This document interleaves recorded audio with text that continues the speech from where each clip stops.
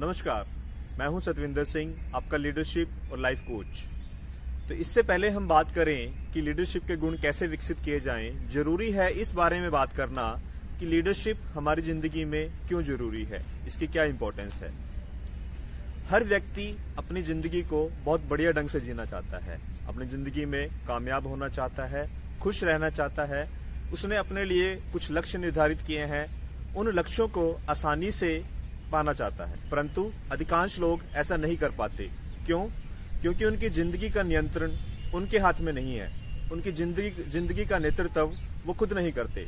और जब तक आपकी ज़िंदगी का नियंत्रण किसी और के हाथ में है, आपकी ज़िंदगी का नेतृत्व कोई और करता है, आप अपनी ज़िंदगी में आसानी से सफलता नहीं प्राप्त कर सकते। यदि लीडरशिप के गुण आपके पास हैं तो सबसे पहले तो आप अपनी ज़िंदगी को खुद लीड करते हो और फिर दूसरों के लिए मार्गदर्शक बनते हो। तो लीडरशिप के गुण अपनी ज़िंदगी के हर क्षेत्र में कामयाब होने के लिए बहुत ज़रूरी है।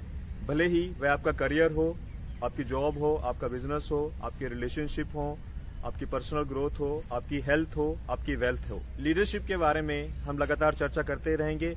मुझसे जुड़े रहने के लिए आपसे अनुरोध है कि आप मेरे फेसबुक पेज को और मेरे यूट्यूब चैनल को लाइक करें फॉलो करें सब्सक्राइब करें और मेरे साथ बने रहें।